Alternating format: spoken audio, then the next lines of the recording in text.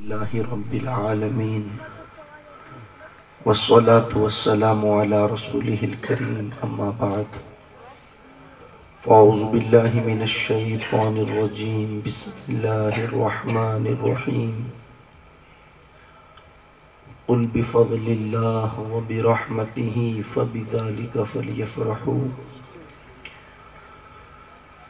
व बिरहमतिही फ़बिज़ालिका फ़लयफ़रहू क़ाल रसूलुल्लाह सल्लल्लाहु तआला अलैहि वसल्लम अन्निकाह मिन सुन्नती फ़मन रग़िब अन सुन्नती फ़लैसा मिन्नी सदक़ल्लाहुल अज़ीम व सदक़ रसूलुल्लाह सल्लल्लाहु तआला अलैहि वसल्लम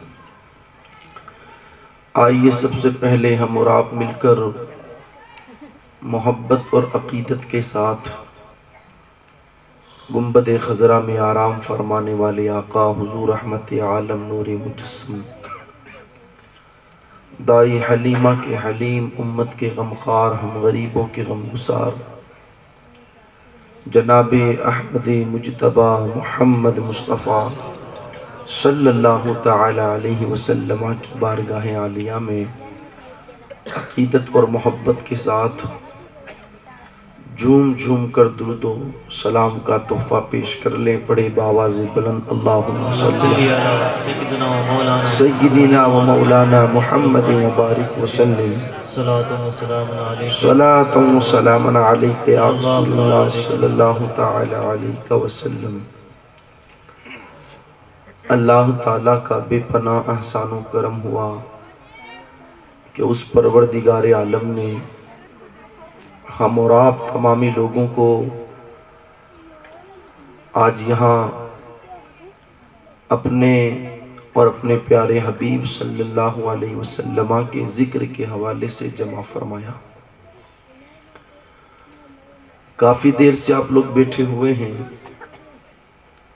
और मुझसे बेशतर आप लोगों ने एक बेहतरीन नसीहत आमेज़ किताब हज़रत मौलाना शाहरुख साहब किबला से समात किया।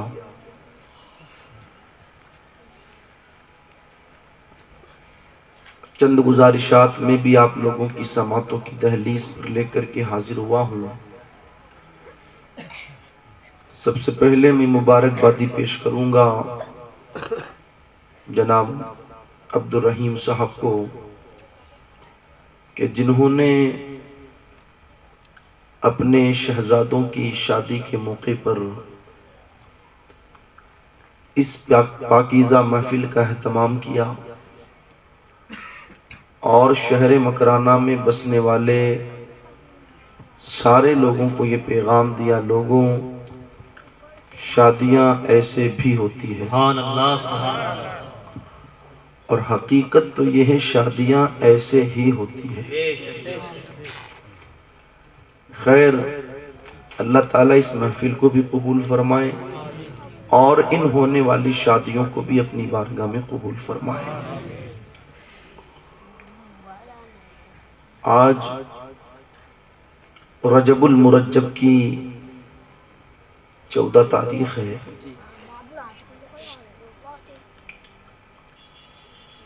और जो दिन हमारे दरमियान से गुजरा बड़ा ही पाकिज़ा और बाबरकत दिन था। दो दो नस्बतें उस दिन को हासिल थी।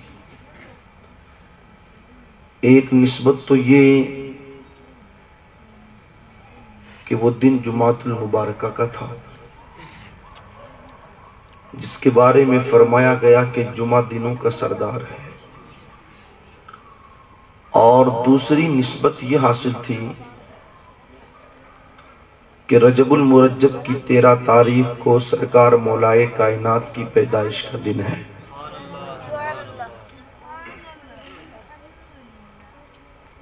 सैदना सरकार गरीब नवाज़ रदी अल्लाह तु की तारीख़ विलादत में का इख्तलाफ है। लेकिन एक रिवायत के मुताबिक चौदह रजबुल मुरज्जब ये सरकार गरीब नवाज़ की विलादत की तारीख है। और गालिबन पंद्रह तारीख ये सत्रह। इमाम जाफ़र। पंद्रह। हाँ। ये दिन गुजरने के बाद जो तारीख आने वाली है उसको नस्बत है सैदना इमाम जाफ़र सादिक रदी अल्लाह तु से। तो आप देखें, हम यहाँ पर कितनी नस्बतों को एक साथ लेकर के बैठे हो। खैर, अल्लाह इन नस्बतों के सदक़े दुनिया और आखिरत में हमें कामयाबी आता फरमाए। वैसे तो काफ़ी सारी बातें आपने सुन ही ली मौलाना शाहरुख साहब से। चंद बातें मैं भी अर्ज़ कर दूँ। मेरे आका सलाम का फरमान आलिशान है अन निकाह मिन सुन्नती, फमन रगीबा अन सुन्नती फलई समिनी लोगों, निकाह करना मेरी सुन्नत है। तो जिस बंदे ने मेरी सुन्नत से एराज किया, मुँह मोड़ा, उस बंदे का मुझसे कोई ताल्लुक नहीं। जलमा फरमा है, आप इनसे पूछिएगा तो ये आपको बताएँगे। मेरे आका सलाम का एक दूसरा फरमान है, इरशाद फरमाया इन नमल आमाल बिन्नीयात आमाल का दारो मदार नीयतों पर है। इसको यूँ समझे ईशा की नमाज़ पढ़कर के बंदा सो गया। और सोते वक्त वो ये नीयत करके सोया कि इंशाअल्लाह मैं सुबह उठ करके फजर पढ़ूँगा फरमाया गया कि रात को नीयत करके सोया था कि सुबह उठ करके फजर पढ़ूँगा तो अल्लाह ताला उसे पूरी रात इबादत का सवाब फरमाता। इसलिए कि उस बंदे ने नीयत की इसी तरीके से एक बंदा चला अपने घर से नमाज़ पढ़ने के लिए कि यार अजान हो गई। और मैं मस्जिद जा रहा हूँ ईशा की नमाज़ पढ़ने के लिए। अभी उस बंदे ने वज़ू नहीं किया। अभी न कुल्ली की है, न नाक में पानी डाला है, न चेहरा धोया है, न कोहनियों समेत हाथ धोए हैं। न सर का मसा किया है, न टखनों तक उसने पाँव धोए कुछ नहीं, अभी घर से निकला। लेकिन नीयत ये करके निकला कि मैं मस्जिद जाकर के नमाज़ पढ़ूं। फरमाया गया, इसके एक एक कदम मस्जिद की तरफ़ उड़ तो रहे हैं, लेकिन अल्लाह ताला हर उठने वाले कदम पर इस बंदे को सवाब अता फरमाता है। क्यों? इसलिए कि इस बंदे ने नीयत की। और अमाल का दारो मदार नीयत पर है। बंदा घर से निकला, नीयत करके नमाज़ पढ़ने की। रास्ते भर चलता रहा, इसे सवाब मिलता रहा। मस्जिद पहुँचा, इसने वज़ू किया, सवाब मिल रहा है। हाथ मुँह पूछ करके अंदर पहुँचा, मुसल्ला बिछाया। नफिल रकात की नमाज़ की नीयत बांधी, सवाब मिल रहा है। नफिल मुकम्मल हो गए इमाम की इब्तदा में फ़र्ज़ अदा कर रहा है, इसे सवाब मिल रहा है। फराइज भी मुकम्मल हो गए, बात की सुन्नतें नवाफिल पढ़ रहा है, सवाब मिल रहा है। नमाज़ मुकम्मल हो गई, सवाब मिलना बंद। समझ रहे आप मेरी बात? नमाज़ मुकम्मल हो गई, सवाब मिलना बंद। इसलिए कि इसने वो इबादत कर ली और उस इबादत का सवाब इसे मिल गया। इसी तरीके से बंदा रात को सोया के सुबह उठ करके नमाज़ पढ़ूँगा, पूरी रात सवाब मिलता रहा। सुबह उठा, मस्जिद की तरफ़ रवाना हुआ, रास्ते पर सवाब मिलता रहा। मस्जिद पहुँचा, ठंडे पानी से वज़ू बनाया। इसे सर्दियों के मौसम में ठंडे पानी से वज़ू बनाने पर दो गुना सवाब मिला। वज़ू बनाने के बाद अंदर पहुँचा, मुसल्ला बिछाया, नमाज़ पढ़ी, सवाब मिलता रहा। नमाज़ मुकम्मल कर ली, नमाज़ का सवाब मिल गया, अब सवाब मिलना बंद। लेकिन अब आए, मेरे आका ने इरशाद फरमाया, निकाह मेरी सुन्नत है। निकाह, मेरी सुन्नत है, निकाह मेरी सुन्नत। और फरमाया गया कि हुजूर की सुन्नत खुदा की इबादत। हुजूर की सुन्नत खुदा की इबादत।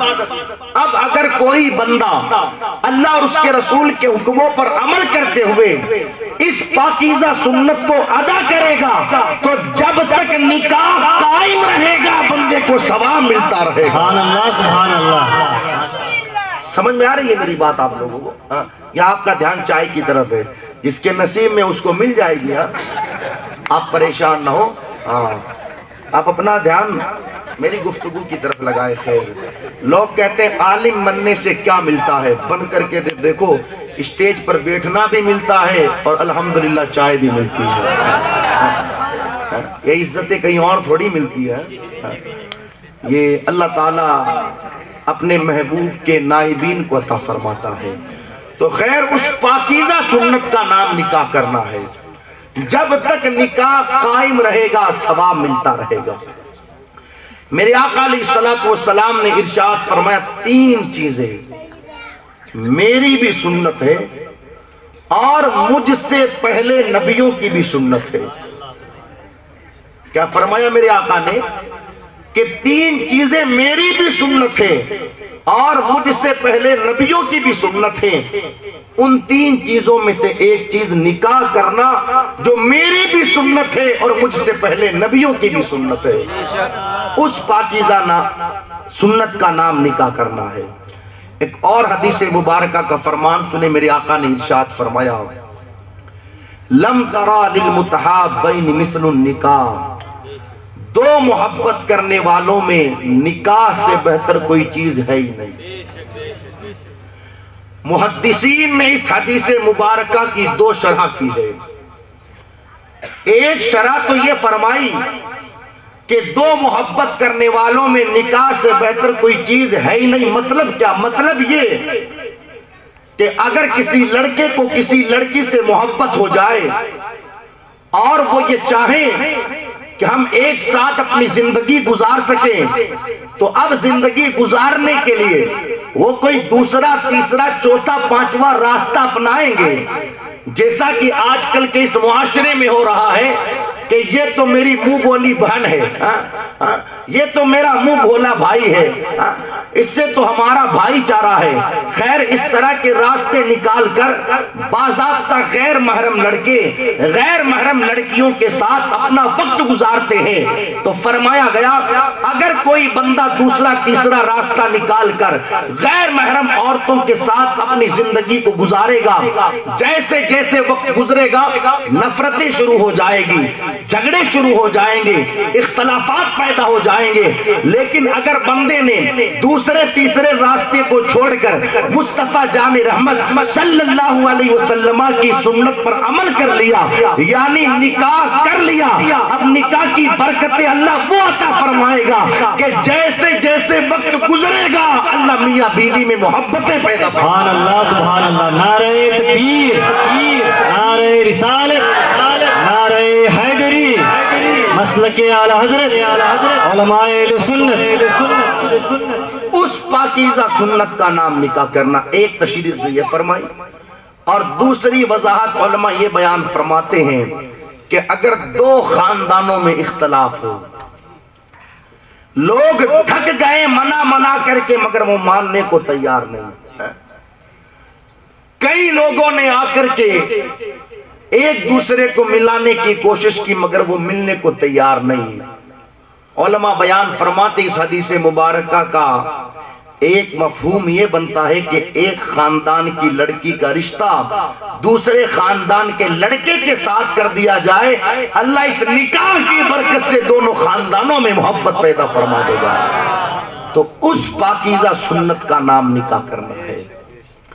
और ये ऐसी इबादत है निकाह करना ऐसी इबादत कि जब कायनात में कोई इबादत न थी, उस वक्त भी निकाह था। और जब कल कयामत के दिन कोई इबादत ना होगी, उस वक्त भी निकाह होगा। उस अजीम सुन्नत का नाम और उस अजीम इबादत का नाम निकाह करना है। सबसे पहला निकाह हुआ जन्नत में हज़रत आदम सलाम का माहवा रदी अल्लाह तहा के साथ। अल्लाह ने जब हज़रत आदम सलाम को जन्नत में भेजा, रब की जन्नत, सारी नेमतें मौजूद। और जन्नत कहते ही उसे हैं जहाँ सारी नेमतें मौजूद हों। लेकिन हज़रत आदम अकेले थे तो अर्ज़ करते हैं, मौला, तेरी जन्नत में सब है। मगर मेरे जैसा कोई नज़र नहीं आता कोई मेरे जैसा भी तो हो जिसे देख करके, हा? मेरे भी दिल को ठंडक मिले, मेरे भी दिल को सुकून मिले, जन्नत का माहौल है, हर चीज़ वहाँ मौजूद मगर हज़रत आदम सलाम ने अल्लाह की बारगाह में ये अर्जी लगाई तो परवरदिगार आलम ने हज़रत आदम सलाम की इस बाई फिसली से जो सबके ऊपर है, उससे माँ हवा रदी अल्लाह तहा को पैदा फरमाया। किसको पैदा फरमाया? माँ हवा रदी अल्लाह तहा को पैदा फरमाया। आप देखे ना, शरीयत मुताहरा ने हर चीज़ में दाहनी जानब को फजीलत अता फरमाई है। खाना खाओ तो दाएँ हाथ से। पानी पियो तो दाएँ हाथ से। कपड़ा पहनो तो पहले दाएँ हाथ में पहनो। जूता पहनो तो पहले दाएँ पाँव में पहनो। हर काम में शरीयत मुताहरा ने दाहनी जानिब को फजीलत अता फरमाई, लेकिन अल्लाह अकबर, जब औरत की पैदाइश की बारी आई, औरत की तखलीक की बारी आई तो कुदरत ने औरत को बाएँ जानिब वाली फिसली से पैदा फरमाया, आखिर इसकी वजह क्या? इसकी वजह ये बयान फरमाते हैं, इसलिए कि इंसान का दिल दाहनी जानिब नहीं होता, इंसान का दिल तो बाएँ जानिब होता है, और फिसली बोली गई कि जो दिल के करीब होती है गोया के कुदरत ये बताना चाहती हो कि हमने जो तुम्हें बीवियों की शक्ल में औरत अता फरमाई है खुदारा वो औरत न सर के ताज की तरह सर पर बिठाने के लिए है और न पाँव की जूती की तरह पाँव में नोदने के लिए है बल्कि दिल के करीब वाली फिसली से इस औरत को पैदा किया गया है। औरत न सर पर बिठाई जाएगी न पाँव में रोली जाएगी बल्कि औरत तो दिल के करीब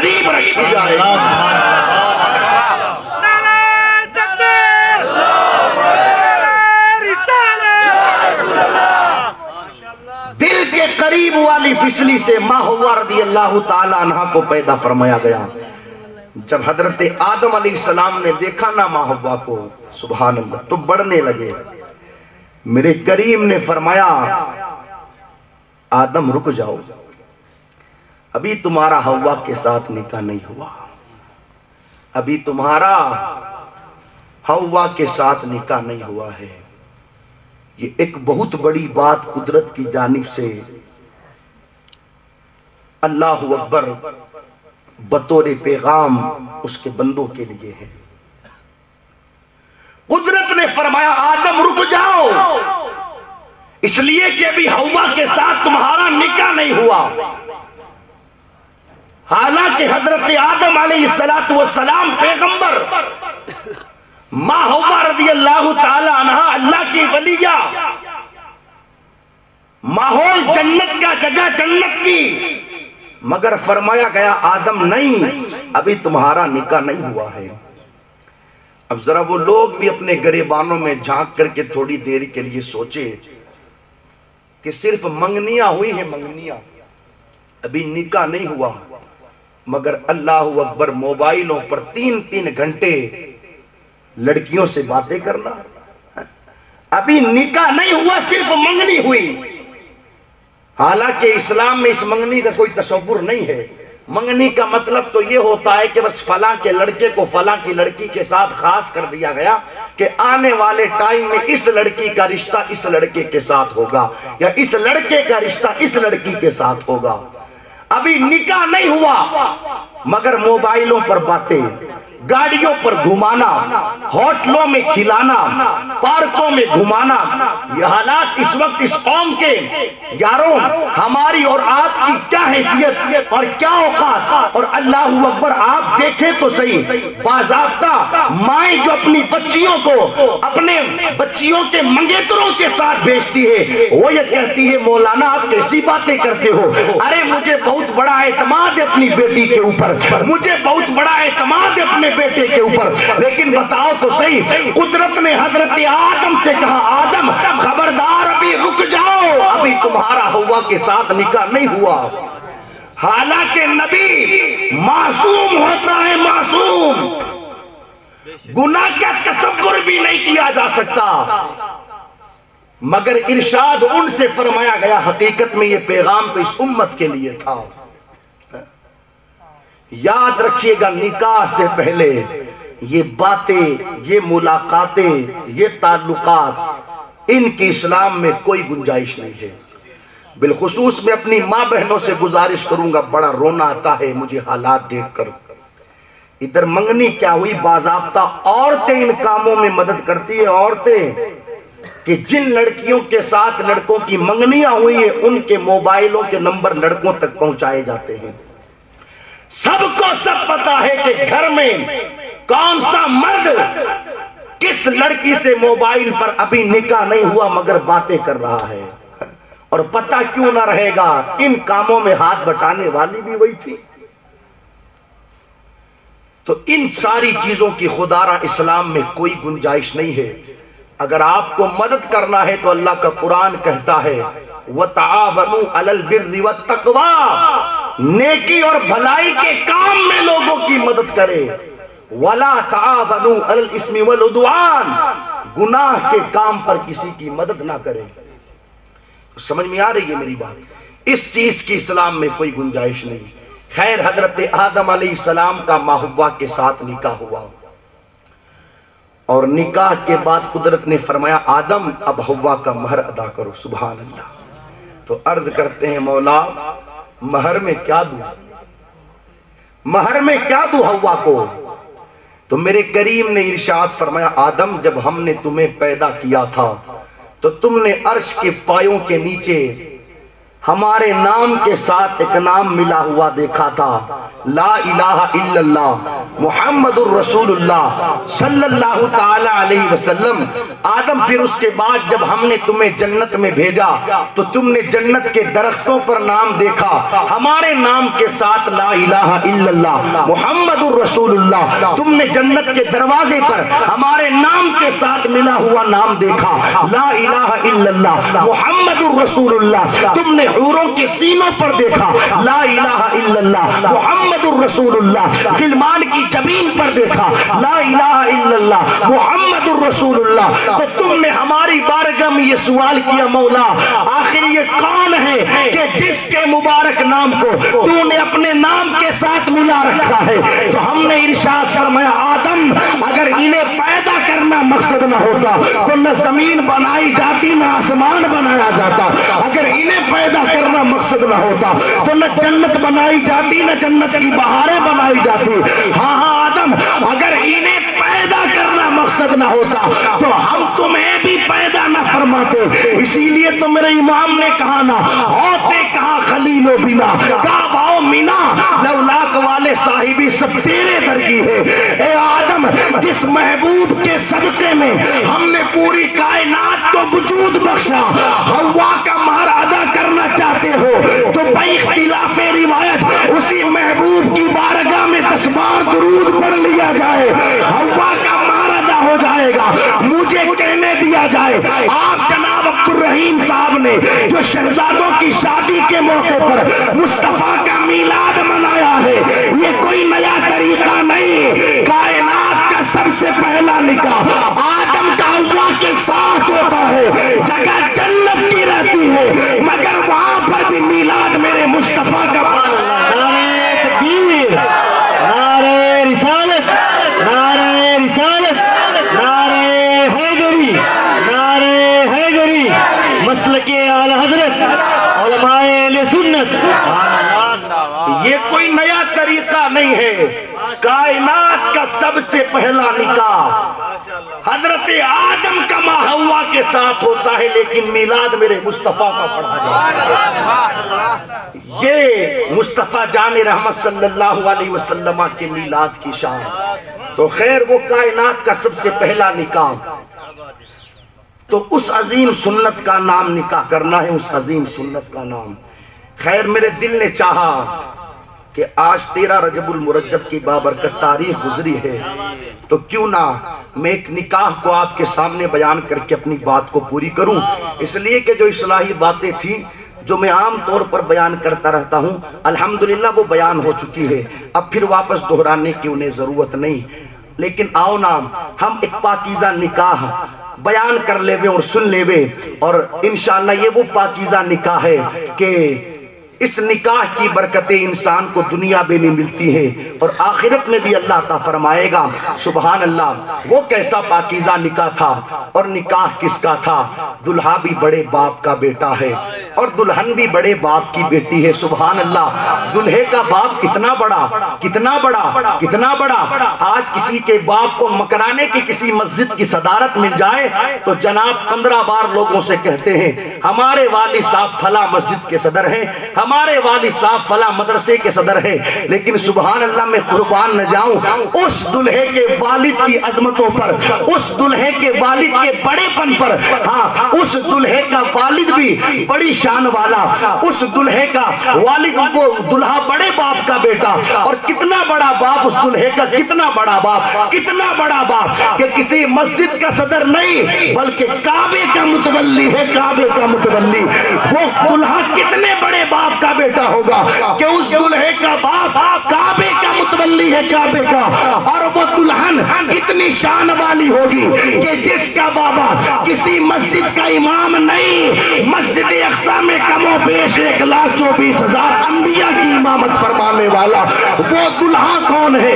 वो दुल्हा जिन्हें दुनिया दामाद पैगंबर जनाब हैदर हज़रत अली इब्ने अबी तालिब के नाम से जानती है। और वो दुल्हन कौन? वो दुल्हन सैयदा फातिमा जहरा सलामुल्लाहि कसीरन कसीरा की जाते मुकद्दसा है। दुल्हा भी बेमिसाल दुल्हन भी बेमिसाल। सुभान अल्लाह सुभान अल्लाह माशा दुल्हा भी बेमिसाल दुल्हन भी बेमिसाल। अब आप देखिए ना सुबहान अल्लाह वो की शान से हुआ है। कितनी शान वाला दुल्हन दुल्हा कितनी शान वाला कितनी शान वाला। पैदा हुआ तो काबे में है? कहाँ पैदा हुआ?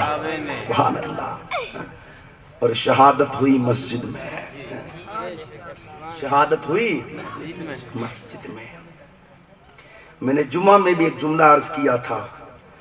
आज हर बंदे के दिल की ये तमन्ना रहती है। अली मेरे दिल में आ जाए। अली कहाँ आ जाए? मगर याद रखना अली आते हैं ना तो काबे में आते हैं। कहाँ आते हैं? काबे में आते हैं पता क्या चला?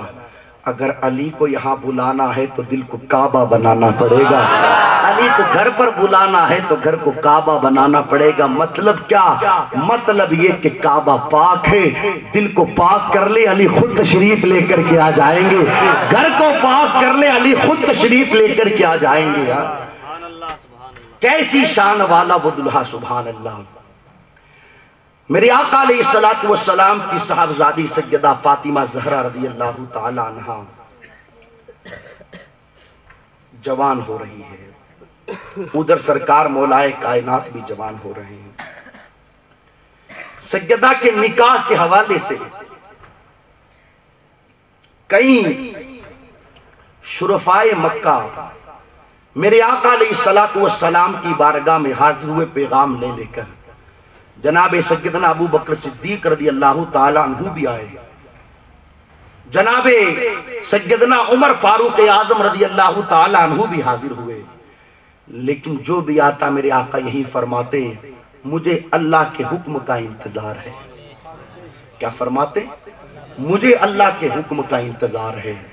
एक बार हुआ यूँ कि जनाब सिद्दीक अकबर और जनाब फारूक आज़म रदी अल्लाह तुमा बैठे हुए थे और आपस में बातें कर रहे थे। सिद्दीक अकबर हज़रत उमर से कहते हैं, भाई उमर, सब जाकर के आ गए हुजूर की बारगाह में। फातिमा के रिश्ते के हवाले से और सबको हुजूर यही जवाब देते हैं, मुझे अल्लाह के हुक्म का इंतज़ार है। अली अब तक नहीं गए। क्यों ना हम अली के पास चलें और उनको जाकर के कहें कि, अली, तुम जाओ ना फातिमा का रिश्ता मांगने के लिए हुजूर की बारगाह में। अल्लाह अकबर, ये मशवरा हुआ दोनों के दरमियान और इस मशवरे को लेकर जनाब सिद्दीक अकबर और जनाब फारूक आज़म रदी अल्लाह तुमा दोनों सरकार मौलाए कायनात के यहाँ गए। जब पहुँचे तो देखा तो अली बाग में गए हैं, अल्लाह अकबर, और पानी दे रहे हैं बाग के अंदर फ़सलों को। वहीं पहुँच गए सिद्दीक अकबर और सैदना उमर फारूक आज़म। और जाकर के कहा, अली, एक बात कहनी है। मौलाए कायनात अर्ज़ करते हैं, मुझे ही बुला लिया होता, कौन सी बात कहनी थी? आप इतनी दूर आने की क्यों जहमत फरमाते हैं? लेकिन सिद्दीक अकबर ने फरमाया, अली, बात ऐसी है, हम सब जाकर के आ गए। फातिमा के रिश्ते के हवाले से हुजूर की बारगाह में, मगर यही फरमाते हैं, मुझे अल्लाह के हुक्म का इंतज़ार है, अल्लाह के हुक्म का इंतज़ार है। अली, तुम जाओ ना, हो सकता है नबी तुम्हारा इंतज़ार कर रहे हो। अली, तुम जाओ ना, हो सकता है ये सादत तुम्हारे हिस्से में आए। अल्लाह अकबर, जब सिद्दीक अकबर रदी अल्लाह तआला ने मौलाए कायनात से पैगाम, निकाह के पैगाम के लिए कहा तो सरकार मौलाए कायनात की आँखों में आँसू आ गए और कहने लगी, अबू बकर, कैसी बातें करते हो? तुम्हें तो पता है ना, शादी करने के लिए बंदे के पास पैसा होना चाहिए। मगर अली के पास तो कोई पैसा ही नहीं। कैसे जाकर के मैं रिश्ते की बात कर लू? सिद्दीक अकबर मुस्कुराए और मुस्कुरा करके फरमाया, अली, जाओ तो सही। वो मुस्तफ़ा जाने रहमत सल्लल्लाहु अलैहि वसल्लम की बारगाह है। वहाँ पर माल नहीं देखा जाता है। वहाँ पर दौलतें नहीं देखी जाती है। वहाँ पर अल्लाह अकबर अहदे नहीं देखे जाते हैं। वहाँ पर जमीनों जायदाद नहीं देखा जाता है। तुम जाओ तो सही। ये मशवरा लेकर के जनाबे, मौलाए कायनात अली मुर्तजा रदी अल्लाह तआला जब मेरे आका सलाम की बारगाह में पहुँचे, अल्लाह अकबर, हज़रत अली जाकर के हुजूर की बारगाह में बैठ गए, मगर सहाबा कितने बाहया थे। हज़रत अली मुश्किल कुशा, हुजूर की बारगाह में निगाहें झुका करके बैठे हैं। मेरे आका ने इरशाद फरमाया, अली, बताओ ना क्यों आए हो? तो अर्ज़ करते हैं, या रसूल अल्लाह बस दिल ने चाहा आपकी जियारत कर लू तो आ गया। मेरे नबी ने फरमाया, बात ठीक है अली, मगर बता तो सही क्यों आया है? कितने बाहया थे सहाबा। और आज तो बेगैरती का हाल ये, दोस्त अपने दोस्त को घर लेकर के जाता है। हा? और कहता ये तुम्हारी भाभी जान है। मुलाकात करो इनसे। अस्तगफिरुल्लाह सदबार अस्तगफिरुल्लाह कहीं बेगैरत अपने दोस्तों को अपनी बीवियों से बातें करवाते हैं तुम्हारी भाभी जाने बात करो इनसे गैरत का जनाजा निकाला लोगों ने मगर सहाबा सुबहान अल्लाह कैसे बात दिल की बात नहीं कह पा रहे हैं नज़रें झुकी हुई है, है? हुजूर ने फिर फरमाया अली बताओ तो सही क्यों आए हो है? मेरा दिल कहता है कि मौलाए कायनात ने बजबान हाल यूँ कहा होगा या रसूल अल्लाह सल्लल्लाहु अलैहि वसल्लम अगर कोई और पूछता तो अली बताता कि क्यों आया है? मगर जिस नबी की निगाह से खुदा की जात ना छुपी हो अली के दिल की बात भला कैसे छुप सकती है? आका आपको तो सब पता है कि अली क्यों आया है। और कोई गैब क्या? तुमसे निहा हो भला। जब ना खुदा ही छुपा तुम पे करोड़ों दुरूद। हुजूर आपको तो सब पता है कि अली क्यों आया है। लेकिन मेरे नबी ने फिर फरमाया अली बताओ तो सही क्यों आए हो? मौलाए कायनात अर्ज़ करते सरकार। हाँ, सैयदा के रिश्ते के हवाले से मैं आपकी बारगाह में हाजिर हुआ हूँ। जब मौलाए कायनात ने अपनी बात रखी तो मेरे आका मुस्कुराने लगे। हाँ, मेरे इमाम ने कहा जिनकी तस्की से रोते हुए हंस पड़े उस तबस्सुम की आदत पे लाखों सलाम। हुजूर मुस्कुराए और इरशाद फरमाया अली तुम तो अब आए हो तुमसे पहले जिब्राइल आए और जिब्राइल ने आकर के मुझसे कहा इन अल्लाह अमरनी अन उज़फ़िजा फातिमा तबी अली इब्न अबी तालिब कि या रसूल अल्लाह अल्लाह ये हुक्म देता है कि अपनी बेटी फातिमा का निकाह अपने चचा अबू तालिब के बेटे अली के साथ से कर दिया जाए। और दूसरी रिवायत के मुताबिक, मेरे नबी ने फरमाया, अली, तुम तो अब आए हो। तुमसे पहले जिब्राइल ने आकर के मुझसे कहा, या रसूल अल्लाह अल्लाह ने आसमानों पर फातिमा का निकाह अली के साथ तय कर दिया है। आप भी फातिमा का निकाह ज़मीन पर अली के साथ से। नारे तकबीर नारे हैदरी नारे हैदरी मसल के आला हज़रत उलमाए सुन्नत नारे तकबीर नारे रिसालत। ये वो निकाह है जो पहले आसमानों पर तय होता है फिर ज़मीन पर तय होता है। खैर मेरे नबी ने कहा ठीक है अली हाँ? फातिमा का रिश्ता तुम्हारे साथ से कर दिया जाता है। अब मेरे नबी ने क्या फरमाया? अली कुछ है महर देने के लिए वलीमा करने के लिए? हाँ? मगर आज क्या है? बातें सारी बाद में होगी पहले है कुछ तुम्हारे पास? हाँ? गाड़ी बंगला बैंक बैलेंस है? कौन सी गाड़ी दोगे हाँ? टू व्हीलर या फोर व्हीलर? रिश्ते तोड़ लेते हैं रिश्ते। सगाई हो रखी है दो साल हो गए किए हुए। अब जिस टाइम की थी उस टाइम तो वो दौलतमंद था। अब दौलत की क्या हैसियत? वो तो साय की तरह है, है? है? तो साया कभी कादरी मस्जिद पर रहता है, कभी जामिया अनफिया पर रहता है। साया है भाई वो। वो तो आता जाता रहता है ना साया, वो तो कभी किसी के ऊपर, कभी किसी के ऊपर। तो दो यही हैसियत है, हमने इसी शहर में देखा है, इसी शहर में हाँ इसी शहर में देखा है कि लाखों करोड़ों के अंदर जिनकी जिंदगियाँ गुजरा करती थी, रमज़ान शरीफ में जक़ात लेकर के अपना गुजारा कर रहे हैं। इसी शहर में और जिनका हाल ये था कि खाने के लिए आटा भी मैसर नहीं आ पाता था, आज बड़ी बड़ी इमारतों में रह रहे तो दौलत की कोई हैसियत नहीं है, वो तो आती रहती है जाती रहती है। तो जिस टाइम रिश्ता तय किया था, उस वक्त जनाब दौलतमंद थे। तो देखा कि यार, बड़ी वाली बेटी को भी खूब दे रहा है। तो जिस बेटी के साथ हमने अपने बच्चे का रिश्ता तय करवाया है, उसको भी खूब देगा। मगर गाड़ी पलट गई। मामला कुछ और हो गया। अब पता चल रहा है कि अब तो ये तो कुछ नहीं दे पाएगा तो अब सगाई तुड़वा दो ये हालात है। अब सुने हुजूर का फरमान। मेरे नबी ने इरशाद फरमाया, जो बंदा इस नीयत से निकाह करेगा कि मैं मालदार हो जाऊँ, अल्लाह उसे फकीर बना देगा। और जो बंदा इस नीयत से निकाह करेगा कि मुझे इज़्ज़त मिल जाए अल्लाह उसे जलील कर देगा। और मेरे नबी ने फरमाया कि जो बंदा इस नीयत से निकाह करेगा कि हुजूर की सुन्नत पर अमल हो जाए तो इस सुन्नत की बरकत से अल्लाह उसे दौलतमंद भी बना देगा अल्लाह उसे इज्जतदार भी बना देगा। ये बाजाबता मेरे आका की हदीस है हदीस। और कुरान में अल्लाह ने इरशाद फरमाया कि लोगों, तुम मोहताजी के डर से, फकीरी के डर से निकाह क्यों नहीं करते हो? निकाह करो। निकाह करो। तुम निकाह करोगे, अल्लाह निकाह की बरकत से तुम्हें दौलतमंद बना देगा। ये कुरान में अल्लाह का वादा है, अल्लाह का वादा। तो अर्ज़ ये कर रहा था, ये सारी चीज़ें ना देखी जाए। हाँ अल्लाह ने हमें मर्द बनाया है। हाथ पाँव में हमारे ताकत दी है कुत दी है। हाँ।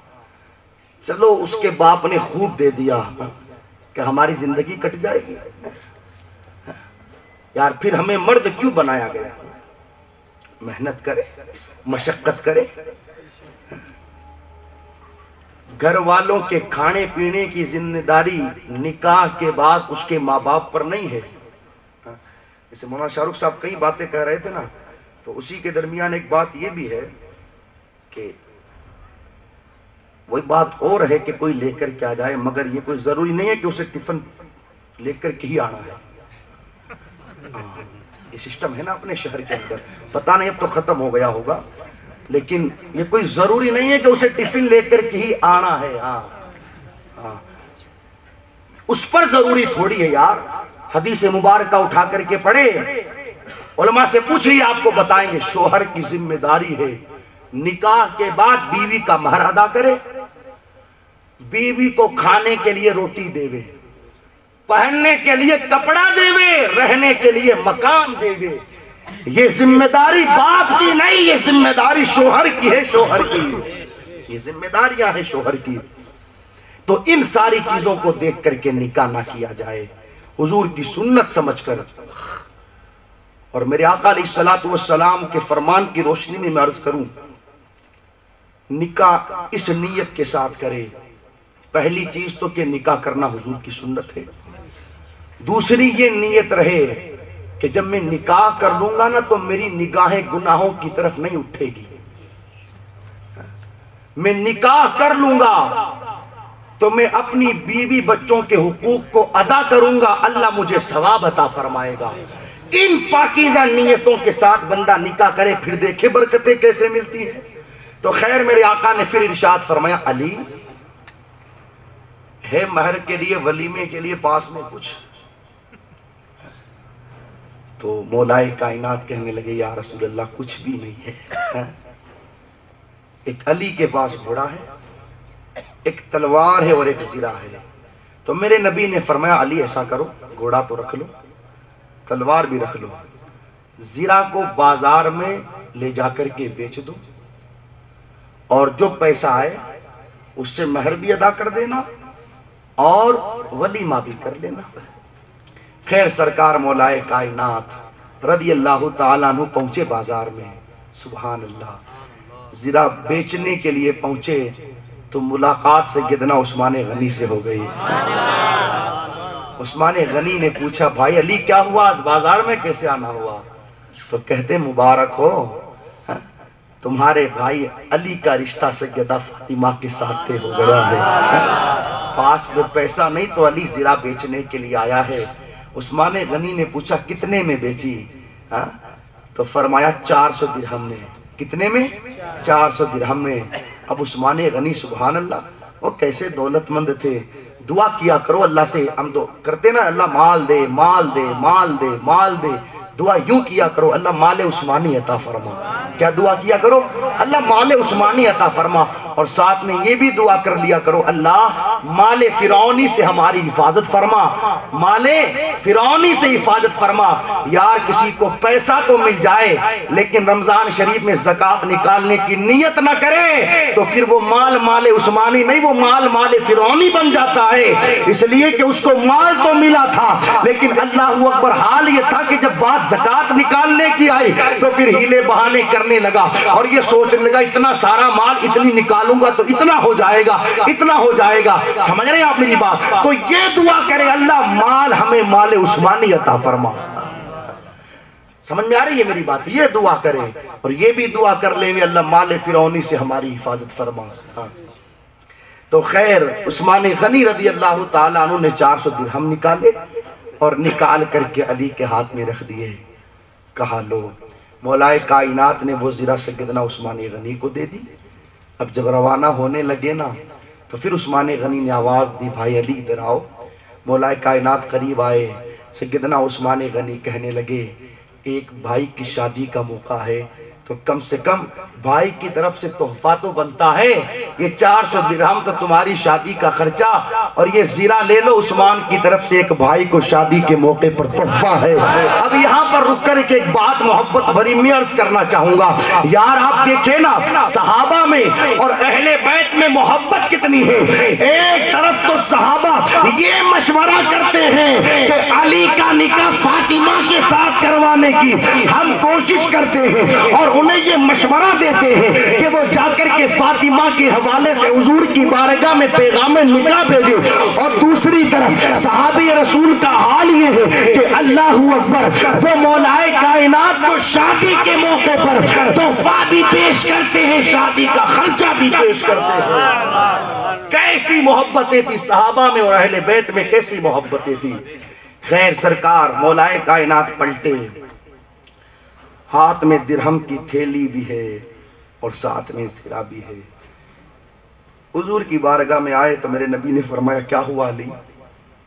दिरहम भी लाए जीरा भी लाए? अर्ज़ करने लगे हाँ या रसूल सलाम, आज किसी सखी से मुलाकात हो गई। लेकिन सुबह अल्लाह यार, अल्लाह ने उनको दौलत दी थी, लेकिन उन्होंने अपनी सारी दौलत ही अल्लाह रसूल के नाम पर कुर्बान कर दी है। कैसी कैसी मन्नतें मानते थे वो लोग। मेरा दिल चाहता है कि मैं एक रिवायत से कितना उस्मान गनी के हवाले से पढ़ दूँ सैदना उस्मान गनी ने हुजूर की दावत की। क्या की? दावत की। और मन्नत क्या मानी? कि जितने कदम हुजूर मेरे घर पर चल कर के आएँगे और जितने कदम वापस मेरे घर से हुजूर अपने घर तशरीफ़ ले जाएँगे, उन सारे कदमों के बदले यानी एक एक कदम के बदले में अल्लाह की राह में एक गुलाम को आज़ाद करूँगा। ये मन्नत मानी उस्मान गनी। अल्लाह ने कितनी दौलत दी होगी। खैर, हुजूर की बारगाह में पहुँचे और दावत दी, मेरे आका ने दावत कबूल फरमा ली और सैदना उस्मान गनी ने इंतज़ाम किए। हुजूर तशरीफ़ लेकर के आए। तो जब हुजूर चलते थे तो उस्मान गनी कदम गिनते थे। एक, दो, तीन, चार हुजूर ने फरमाया, उस्मान, क्या हुआ? हा? उस्मान, क्या हुआ?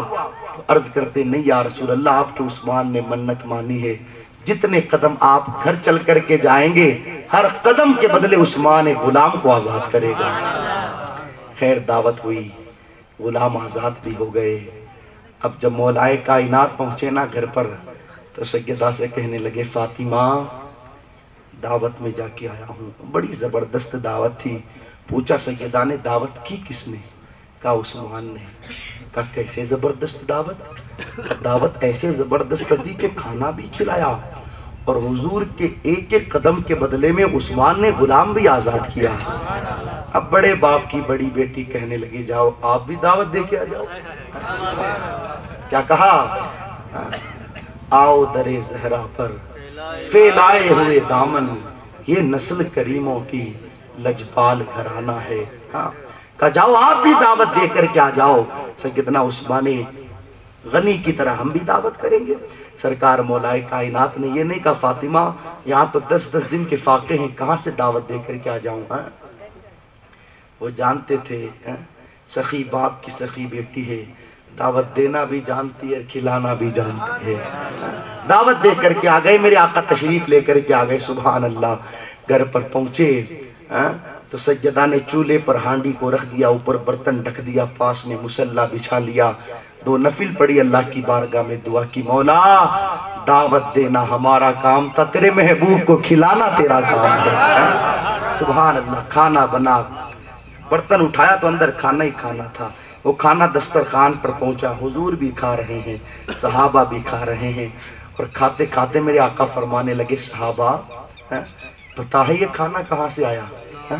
क्या फरमाया पता है साहबा खाना कहाँ से आया तो साहबा करते हैं, अल्लाह जाने, अल्लाह का रसूल जाने मेरे नबी ने फरमाया, ये खाना कहीं और से नहीं, फातिमा की दुआ के सदक़े में अल्लाह ने ये खाना जन्नत से भेजा शाम की वो दावत थी, खैर खाना खा लिया, लेकिन फिर मौलाए कायनात फातिमा जहरा के पास आए और कहने लगे, फातिमा, उस्मान गनी ने सिर्फ़ खाना थोड़ी खिलाया था, हा? उन्होंने तो गुलाम भी आज़ाद किए थे। लेकिन सुबह अल्लाह देखे ना सैदा ने फिर मुसल्ला बिछा लिया। अल्लाह की बारगाह में सर को सजदे में रखा और दुआ करने लगी, अल्लाह, तेरे महबूब की बेटी बज़ाहिर तो इस काबिल नहीं कि तेरे महबूब के कदमों के सदक़े में ग़ुलाम को आज़ाद करे, लेकिन मौला, तुझे तेरे महबूब के एक एक कदम का सदका, एक एक कदम के सदक़े में तेरे महबूब के उम्मत के गुनाहगारों की बख्शिश फरमा दे।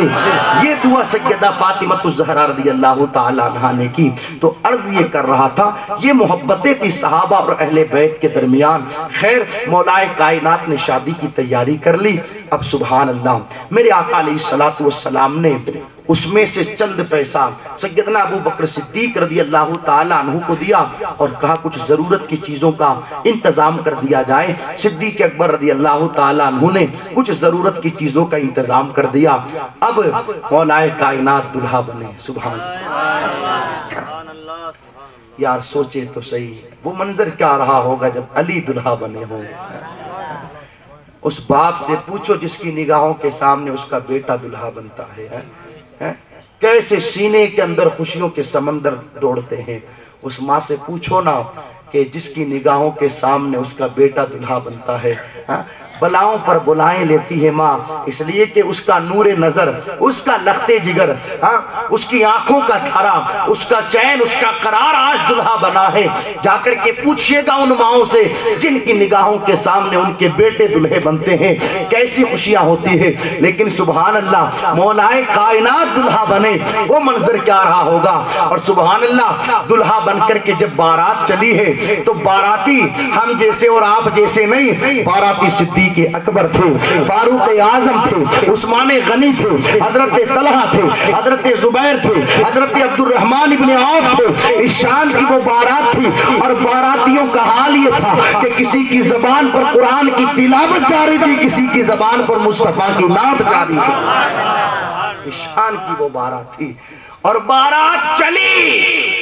तो किसी मैरिज हॉल की तरफ़ नहीं, मस्जिद नबवी की तरफ़ चली। वो मस्जिद नबवी के एक रक्त की नमाज़ अदा करे तो अल्लाह ताला पचास हज़ार नमाजों का सवाब अदा फरमाता है। उस मस्जिद नबवी की तरफ़ चली बारात ईशान की वो बारात चली और निकाह पढ़ाने वाला सुबहान अल्लाह फिर नबियों का इमाम। आप सोचिए यार, सोचिए। शायद मैं जो समझाना चाह रहा हूँ, आप समझ नहीं पा रहे या फिर नींद आप पर गालिब आ रही है। समझे तो सही। दुल्हा, मौलाए कायनात, दुल्हन, फातिमा जहरा और निकाह मस्जिद नबवी में। निकाह पढ़ाने वाला नबियों का सरदार जब इस शान से निकाह होता है तो फिर पैदा होने वाले हसन हुसैन पैदा नारे तकबीर, नारे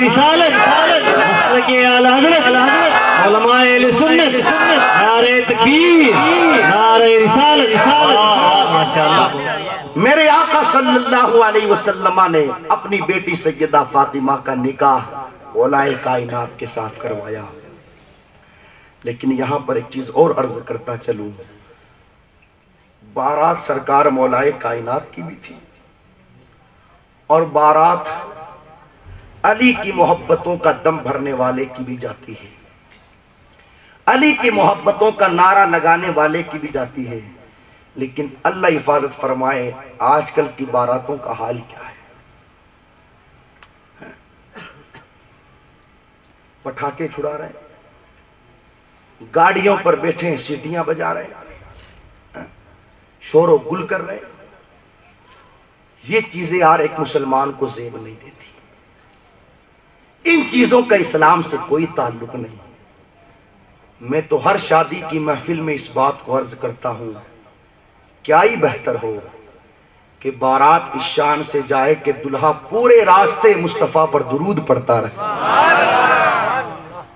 दुल्हा पूरे रास्ते मुस्तफ़ा पर दुरूद पड़ता रहे।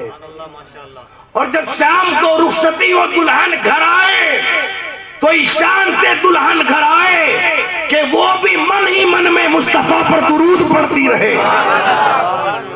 और जब मियाँ बीवी दोनों कमरे में पहुँचे तो फिर दुल्हा अपनी दुल्हन से कहे, मोहतरमा, हम तुम बाद में मिलेंगे।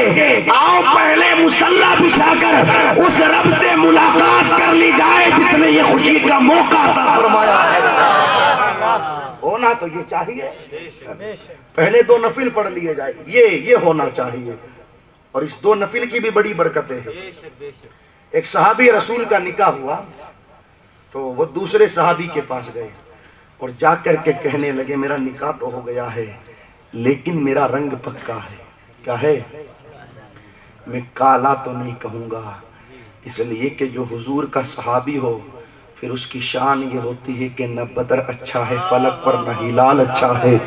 चश्मे भी ना हो तो दोनों से बिलाल अच्छा है। तो कहा मेरा रंग पक्का है। पता नहीं मेरी बीवी मुझे पसंद करेगी या नहीं करेगी। तो उन्होंने क्या फरमाया? कहा, ऐसा करो, जब कमरे में जाओ तो अपनी बीवी को अपने पीछे खड़ा कर लेना और दो रकात नफिल पढ़ लेना, इस नफिल की बरकत से अल्लाह तुम्हारी बीवी के दिल में तुम्हारी मोहब्बत पैदा फरमा। ये बरकतें हैं इन चीज़ों की, मगर हो तो कोई इन चीज़ों की तरफ़ आने वाला।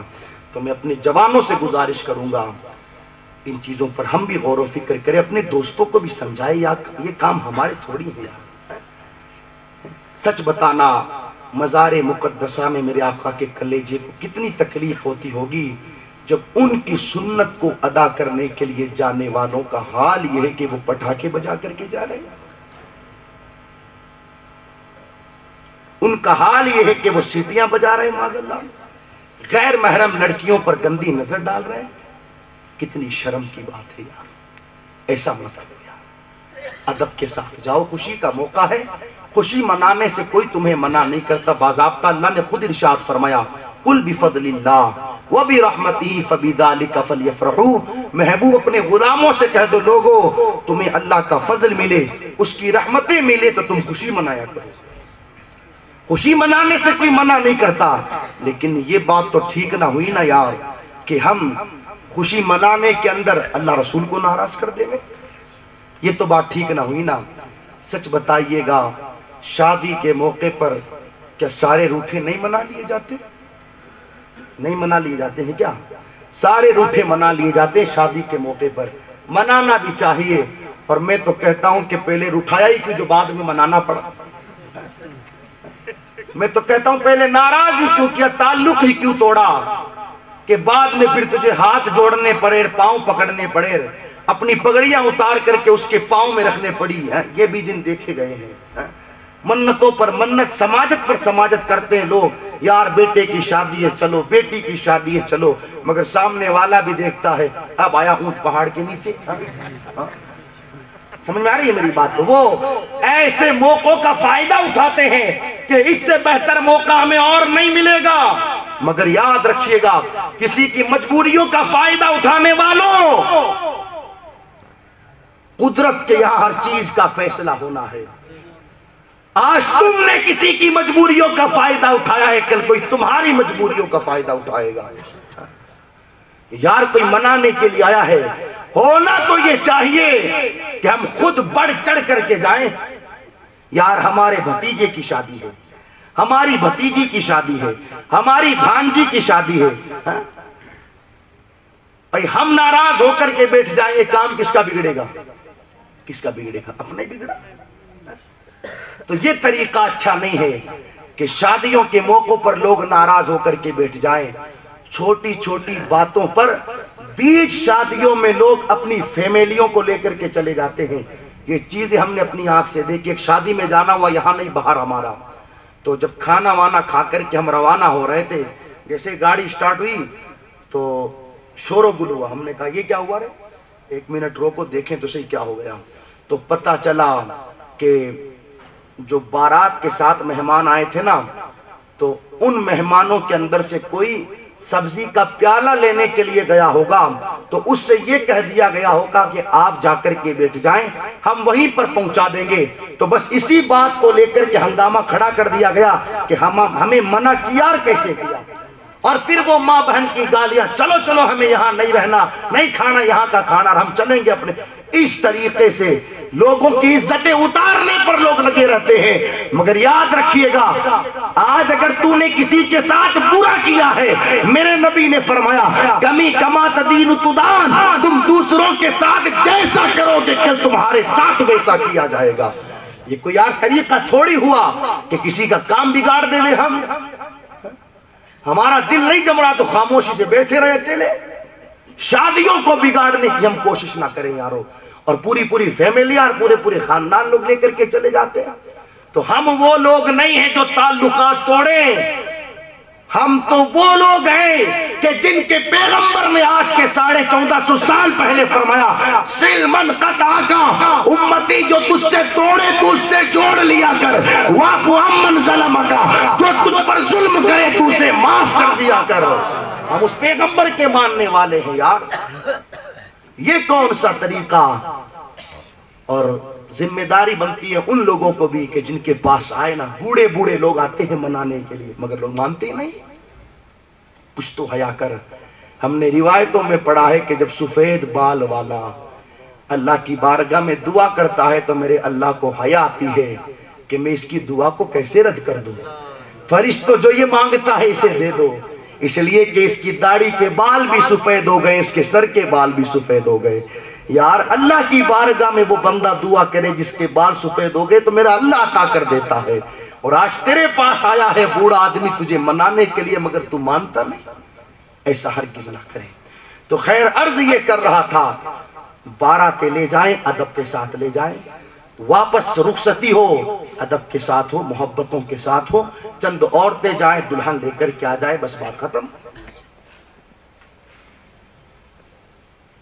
इसी तरीके से एक चीज़ और हमने देखी है। देखी तो नहीं, सुनी है कि शादी से गालिबन एक दिन पहले, यानी कल बारात आनी है कल। तो लड़की के घर वाले, लड़के के घर पर जाते हैं सुबह तीन बजे, चार बजे। हंगामा करने के। राती जोगा वाली रात में जाते हैं सुबह सुबह। एक जगह हमारा जलसा था तो वहीं पर जब दूसरे दिन खाने की दावत थी तो वो कह रहा था, हम सो नहीं पाए। तो हमने कहा, ऐसा क्या कर रहा था तो जो सो नहीं पाया? तो फिर उसने ये सारी बातें बताई कि फला जगह से इतने लोग आ गए थे। फिर कोई मटकियाँ फोड़ता है हाँ? कोई अंडे लेकर के आता है तो वो अंडे फेंकता है।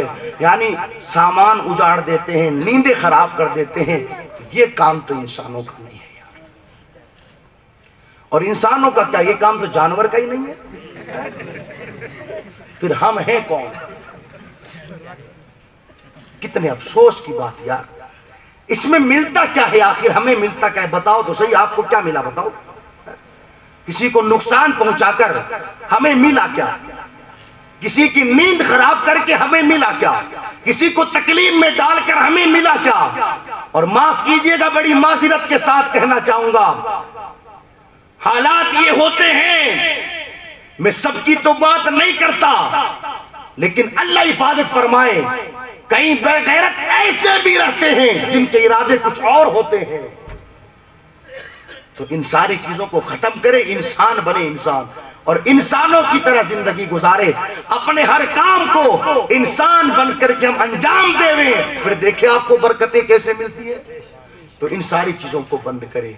बिलखसूस मैं माँ बहनों से गुजारिश करूँगा, ए मेरी माँ बहनों, आपकी अव्वल नंबर पर ज़िम्मेदारी बनती है। इसलिए कि अगर कौम की बेटी अपने आप को तब्दील कर लेवे तो फिर पूरी कौम ही तब्दील हो जाएगी। हाँ। खैर सैयदा का निकाह हो गया। बड़ी सादगी के साथ सैयदा का निकाह हुआ और कुछ दिनों के बाद फिर रुखसती भी हुई। सुबहान अल्लाह वो रुखसती भी कितनी पाकिज़ा थी कि जब मेरे आका ने फरमाया, अपनी अजवाज से कि फ़ातिमा को तैयार करो। आज फ़ातिमा को हमें अली के यहाँ भेजना है घर पर। खैर सैदा को तैयार किया गया। मेरे आका उजरे में तशरीफ़ लेकर के गए तो सैदा की आँखों में आँसू थे। हुजूर ने इरशाद फरमाया, फातिमा, क्या हुआ? आँखों में आँसू किस लिए है? क्या इसलिए कि आज तेरा कोई भाई नहीं? कहने लगी सैयदा, नहीं बाबा, इस बात पर आँसू नहीं है कि मेरा कोई भाई नहीं। हुजूर ने फिर फरमाया, फातिमा, क्या इसलिए तू रोती है कि हमने तुझे जहेज का सामान नहीं दिया?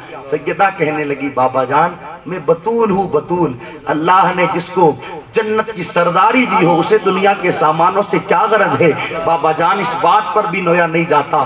फिर मेरे नबी ने फरमाया, फातिमा, फिर आँख में आँसू किस लिए आए? तो सैयदा अर्ज़ करने लगी, बाबा जान, आपको तो पता है ना, एक बेटी को रुखसती के वक्त अपनी माँ की किस कदर ज़रूरत होती है? इसलिए कि माँ बेटी को सीने से लगाकर तसल्लियाँ देती है, मोहब्बत भरी बातें करती है हाँ प्यार भरे जुमले कहती है, उसे दलासा देती है। लेकिन बाबा, आज तो मेरी माँ सैदा खदीजा है ही नहीं। मुझे कौन सीने से लगाएगा? कौन मुझसे मोहब्बत भरी बातें करेगा? कौन मुझे रुखसत करेगा? सैदा खदीजा का ज़िक्र चला। हुजूर की भी आँखों में आँसू आए और अजवाज की आँखों में भी आँसू आए। हुजूर ने फरमाया, फातिमा, फ़िक्र ना करो, तुझे तेरा बाबा खुद अली के घर तक छोड़ने के लिए जाएगा। सुबहान अल्लाह वो कैसी दुल्हन थी? यार, जिन्हें नबियों का इमाम घर तक छोड़ने के लिए तशरीफ़ लेकर के जा रहा है। सुबहान अल्लाह दोस्तों, कभी दुआएँ करो ना अल्लाह की बारगाह में। सैयदा का वसीला दे दिया करो। हमने ओलमा से सुना है सैयदा के वसीले से जो दुआ की जाती है, अल्लाह रद्द नहीं फरमाता। सैयदा के नाम के सदके में अल्लाह दुआओं को कबूल फरमा लिया शेख सादी जैसा अल्लाह का वली यूँ दुआ करता है, खुदा या भक्ति बनी फातिमा, के बर कौल ईमा कुनम खातिमा। अगर दावत मरद कुनी वर कबूल मनो दस्त दामा ने आले रसूल। तो सैयदा का वसीला देकर के दुआ किया करो। हुजूर खुद छोड़ने के लिए गए अली के घर तक, सैयदा को। लेकिन आप देखे ना, अली के साथ हुजूर ने अपनी बेटी का निकाह किया। हालाँकि मौलाए कायनात का बजाहिर हाल क्या है? कि जीरा बेचकर महर का और वलीमे का इंतज़ाम किया गया। रहने के लिए खुद का मकान भी नहीं। एक सहाबी का मकान लेकर के उसमें मौलाए कायनात से गदा के साथ रहे हैं। लेकिन फिर भी मेरे आका क्या फरमाते हैं, फातिमा, मैंने लोगों में सबसे बेहतरीन इंसान से तुम्हारा निकाह फरमाया है। क्या फरमाया मेरे आका ने? फातिमा, सबसे बेहतरीन इंसान से मैंने तुम्हारा निकाह फरमाया है। ये सैदा फातिमा का मुख्तसर निकाह था जो मैंने आपके सामने रखा। दोस्तों, ज़रूरत इस बात की है, हम भी इन चीज़ों को सुने, अपनी ज़िंदगियों में उतारे और माँ बहनें बैठी मैं उनसे भी अर्ज़ करता चलूँ। सैदा की सीरत पढ़े सैदा की ज़िंदगी पढ़े। ज़िंदगी के हर मोड़ पर सैदा फातिमा जहरा ने अपने बाबा का साथ दिया है। अल्लाह अकबर, कभी किसी चीज़ का मुतालबा नहीं किया, कभी किसी चीज़ का मुतालबा नहीं किया। हती के सर पर जो चादर थी ना सैदा के, रुखसती के वक्त, उस चादर पर कई कई पैबंद लगे हुए थे। यार जन्नत के मालिक और मुख्तार की बेटी है। रुखसती का वक्त है, मगर चादर की हालत यह है कि उस पर पैबंद लगे हुए हैं। हालाँकि मेरे आका चाहते ना तो क्या नहीं दे सकते थे यार फातिमा को? पूरी कायनात तो उनकी मिल्कियत है। खुद फरमाते हैं, खुद फरमाते हैं, अगर मैं चाहूँ तो ये पहाड़ सोने के बन करके मेरे पीछे चले। वो क्या नहीं दे सकते थे? और हुजूर ताजुशरिया ने तो यहाँ तक कहा, जहाँ बानी अता कर दे, भरी जन्नत हिबा कर दे। नबी मुख्तार कुल है। जिसको जो चाहे अदा कर दे। यार, किसको क्या नहीं दिया मेरे मुस्तफ़ा ने? जो जो मांगने के लिए आया, मेरे मुस्तफ़ा ने सबकी झोली भर दी। फिर क्या वजह है कि जब अपनी बेटी की बारी आई तो रुखसती के वक्त चादर ऐसी है कि जिस चादर में पैबंद लगे हुए।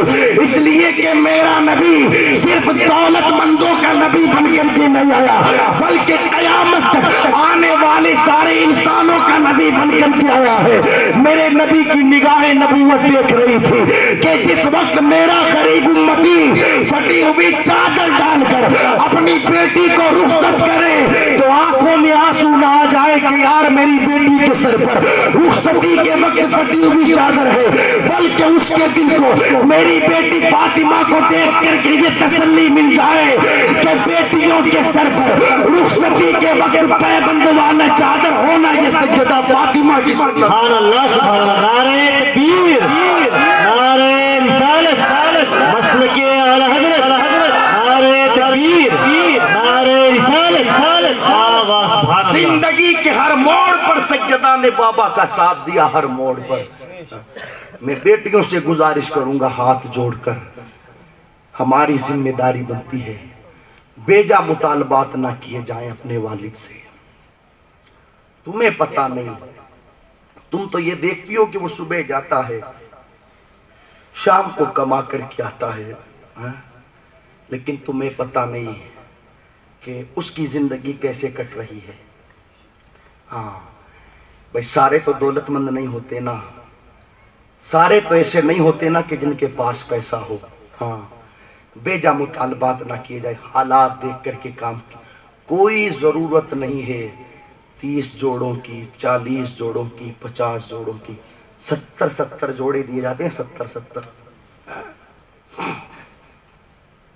अल्लाह खैर फरमाया हैसियत हमारी एक जोड़े की है तो एक जोड़े में शादी नहीं हो सकती? क्या ज़रूरत है पच्चीस हज़ार का सूट लाने की? क्या पाँच हज़ार के सूट में निकाह नहीं हो सकता? हैसियत के मुताबिक काम करो ना यार। हमने देखा है कई मरतबा कि घर पर शादी आ जाती है ना तो गरीब बाप कभी उस दोस्त के पास जाए यार। शादी का मौका है, पचास हज़ार चाहिए। कभी उस दोस्त के पास यार, शादी का मौका है, बच्चे की एक लाख चाहिए। कितने अफसोस की बात कि बेटी की शादी का मौका है और बेटी के बेजा मुतालबात ने अपने बाप को भिखारी बना दिया। कभी उसके पास, कभी उसके पास। और हालात ऐसे हैं कि कोई दो रुपया देने को तैयार नहीं। और फिर मरता क्या ना करता, बेटी ने मुतालबा कर लिया। ऐसे लोगों से मुलाकात हुई, हमारी मुलाकात हुई। हाँ सिर्फ़ हवाई फायरिंग नहीं है, मैं हकीकत बयान कर रहा हूँ। हैसियत नहीं है लोगों की, मगर बेटी ने मुतालबा कर दिया, मैं तो जयपुर से लेके आऊँगी, दस हज़ार का हार का सेट, चलो। और वहीं से कपड़े खरीदूँगी। अब दस हज़ार का हार और दस हज़ार का सूट, ढाई तीन हज़ार की गाड़ी तीन हज़ार की ढाई में तो कोई जाता ही नहीं है। ढाई हज़ार का तीन हज़ार रुपए की कार हुई, रास्ते का खर्चा, खाना पीना, हा? आप देखें तो सही वो कितने रुपए के नीचे आ गया। तो यार ये क्या है यार? अगर बाप के पास रहता है ना तो हमें पता ही नहीं कि हमारे माँ बाप हमसे मोहब्बत कितनी करते हैं। हाँ उनकी हैसियत रहती है तो वो तो बगैर कहे ही, एक से बढ़कर के एक चीज़ ला करके दे देते हैं।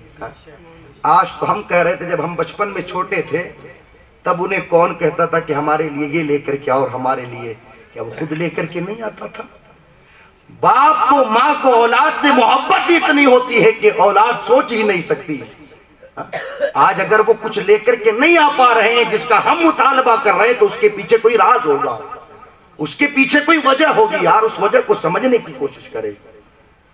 भेजा मुतालबात ना करें। परेशानियों में उन्हें न डालें। अल्लाह खैर फरमाए, अल्लाह खैर फरमाए। इन मुतालबात के चक्कर में, इन मुतालबात के चक्कर में सूद और ब्याज पर पैसा तक लेना पड़ता है लोगों को। सूद और ब्याज पर। और फिर नतीजे क्या आते हैं? एक बेटी का घर बसाने के चक्कर में बीस बीस घर के लोग बेघर हो जाते हैं। हाँ ये भी मैंने इसी शहर मकराना में देखा। बीस बीस घर बेघर, घर वाले बेघर हो जाते हैं, एक बेटी का घर बसाने। इसीलिए मेरे नबी ने आज के साढ़े चौदह सौ साल पहले फरमाया था, लोगों, निकाह को आसान करो आसान। क्या फरमाया था?